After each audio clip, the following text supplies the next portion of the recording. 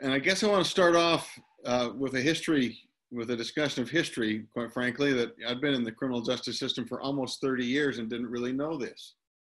Uh, at least not some of the fine details. I mean, I, we all know, and I knew, we all know that our founders gave us an, a legislative branch to tell us what was against the law, an executive branch to enforce the law, and a judiciary to keep those two in harmony. But there are two powers that that people never gave to government. The first was the power to uh, accuse someone of a crime, and the second was the power to find someone guilty of a crime. They, they reserved those powers to themselves through both the grand jury and the jury, respectively. Now, that system worked just fine, uh, and I want to focus not on the grand jury, uh, but mainly the jury at this point. The, the, the system worked just fine until the Civil War this is the part that I really didn't understand that when the Civil War came around and people, the na- we had a nation at war with each other, and you know, finding people to serve on jury juries and having jury trials became less and less of a of a priority. It kind of reminds me, in a very minor way, what you know that we're going through life changing times here. Nothing like the Civil War, obviously, but um, they introduced something in the in the criminal justice system that most in, in those days viewed as a complete corruption. as something that they called the plea bargain.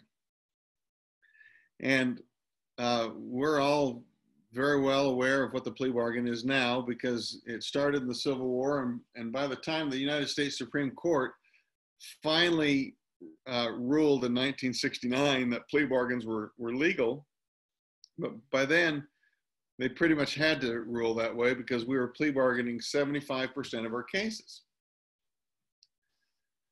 Uh, and so plea bargains become legal. And uh, if you fast forward the clock from 1969 to 2020, uh, where I find myself as the elected prosecutor in Utah County, uh, in Utah County and also in the state of Utah and also across this country, we, we we we settle more than 99% of our cases by a plea bargain. Now, those who participate in the system will will be quick to point out that a plea bargain is far more efficient than a jury trial. But uh, what concerns me is is the following: if you look just beyond, you know, just under the layer of what of what that means, what it means is is that 99 times out of 100 the elected prosecutor uh, never has to prove the allegations that he or she makes against a against a fellow citizen.